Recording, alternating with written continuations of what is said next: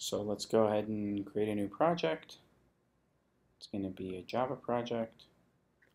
We're going to call it TSP. Oh, I already have one. Let's call it uh, TSPGA. And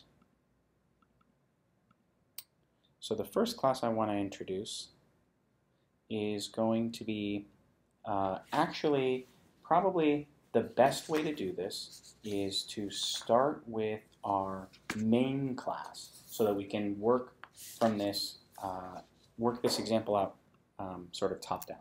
So let's create this class called world. Okay, and this is going to really create the canvas uh, for our application, right? The GUI and the canvas for our application. So let's say that this extends JPanel and let's um, say that we're going to introduce private final atomic integer generation.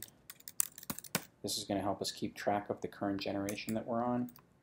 And we're going to say static final int width equals 800, static final int height equals 600, right? And let's work on our constructor here, private world.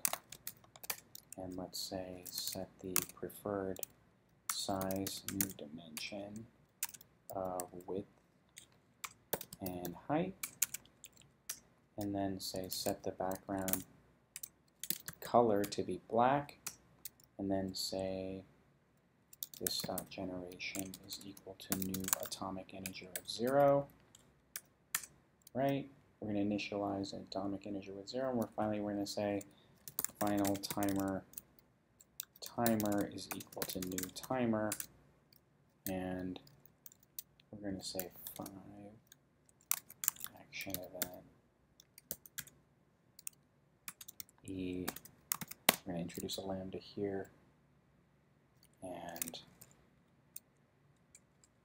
do that, and say that the action that the lambda takes is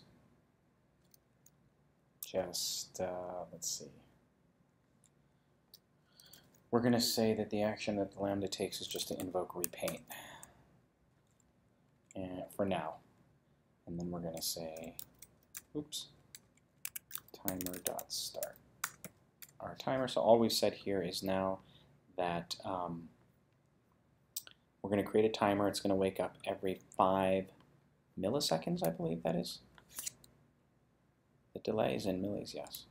Um, and it's going to repaint the canvas. And so, um, well then, then what are we going to repaint here? Let's make sure that we draw that. So we're going to have an at override public void paint component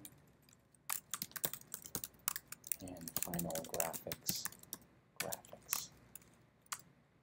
And we're just going to say super dot paint component. Oops, paint component. That's usually what's required.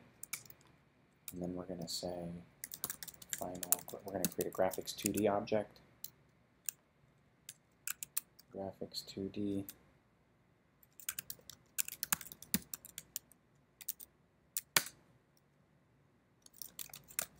This is just sort of a necessary evil.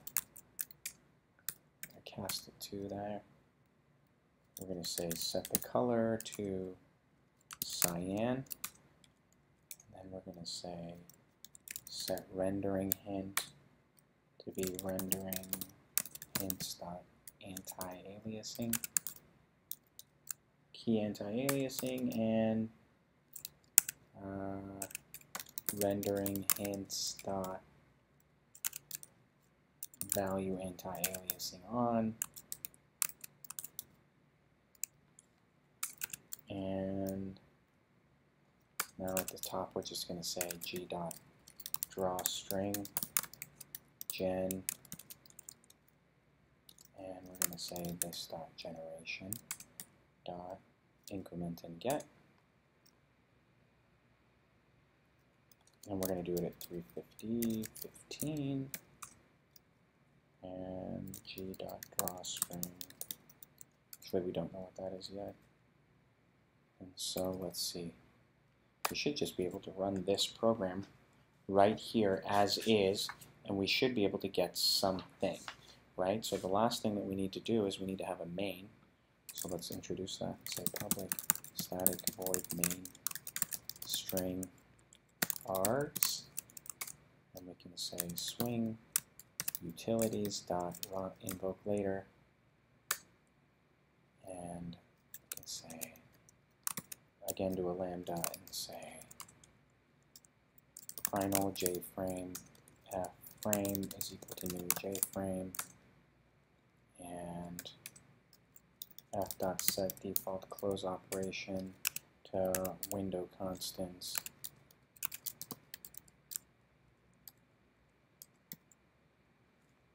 uh, exit on close, f dot set title, genetic algorithms,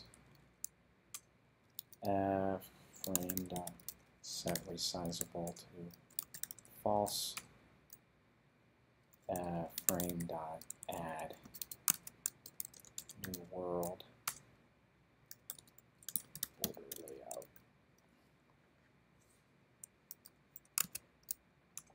dot center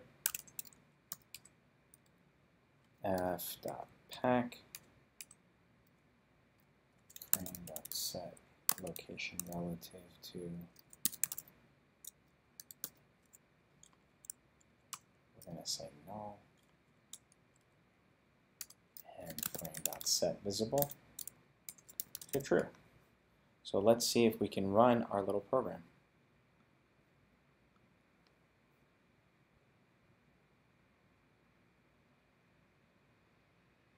Okay, so, and you can actually use this skeleton for many types of 2D programs that you want to write where you want to simulate or model something. Okay, so um, this is the beginning. We will, in the next video, we will pick up and start uh, building up our genetic algorithm from the bottom up. Please do make sure to rate, comment, and like, and we'll see you in the next video.